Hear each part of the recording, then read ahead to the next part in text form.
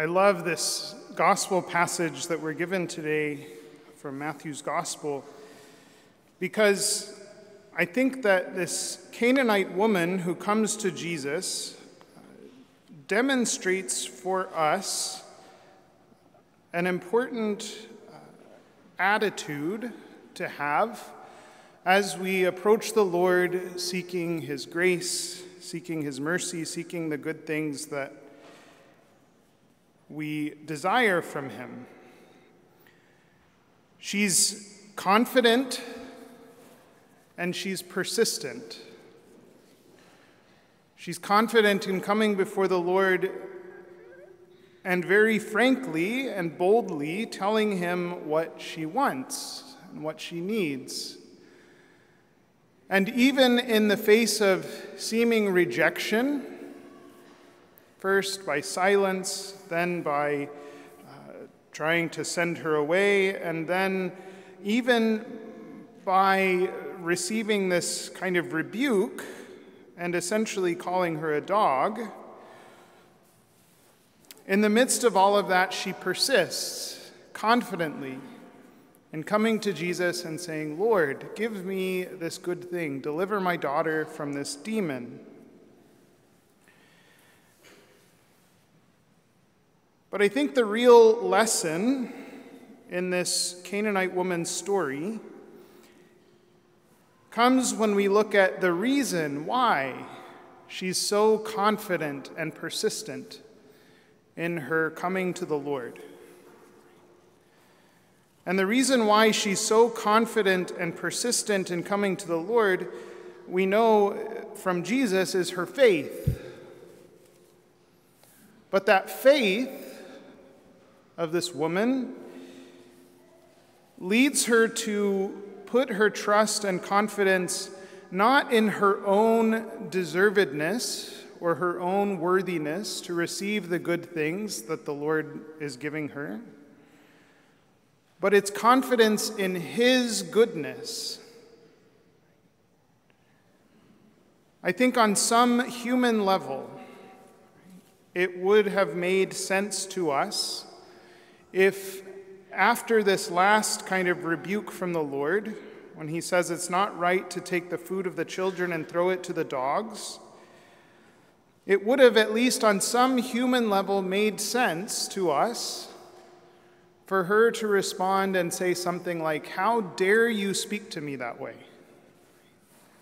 I'm a human being, and I deserve good things from you just as much as anyone else.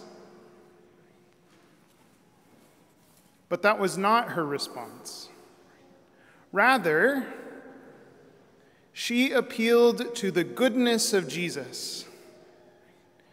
She didn't appeal to her own worthiness, she didn't appeal to her own deservedness, right? But she recognized in Jesus God. And she recognized in God goodness and in his goodness, a desire for our good. And that is what she consistently, persistently reminded the Lord of over and over again. That is faith.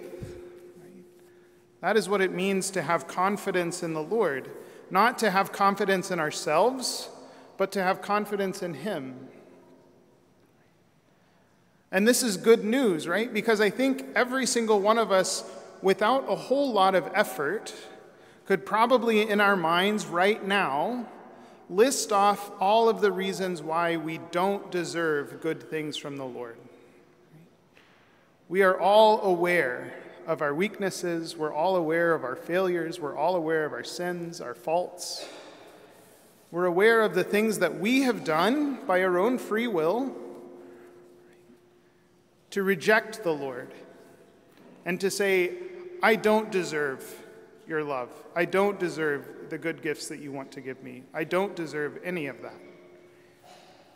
And there's a temptation to allow that reality, to allow that recognition of our own unworthiness to keep us from coming to the Lord. And we say to ourselves, one day I will be perfect. One day I will have done all of the necessary work and I'll have put on put in all the necessary effort and I'll have done all of the things and I'll be disciplined and I'll be finally free from sin and then having earned it, having come to deserve God's love, then I can come to him. And I can say, Here I am, Lord, your perfect gift, right? But that's not how it works, right? As we know, it's God's love that makes us worthy of his love. We come to him unworthy. We come to him undeserving. We come to him full of sin, full of weakness, full of failure. Or perhaps more accurately and more importantly, he comes to us when we are full of sin, full of weakness, full of failure. And he loves us in the midst of our weakness and our sin and our failure.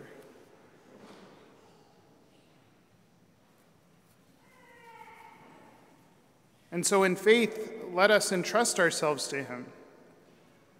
Let us allow His love to come to us here in the sacrament, in our everyday life, in our life of prayer, everywhere we go.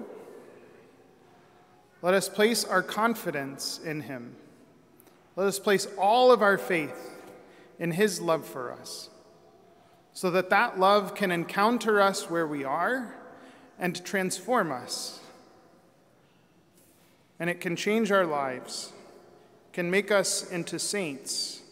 It can help us to find the fulfillment that we seek every time we do anything. And finding our fulfillment in Him, we can be truly happy for all eternity in heaven.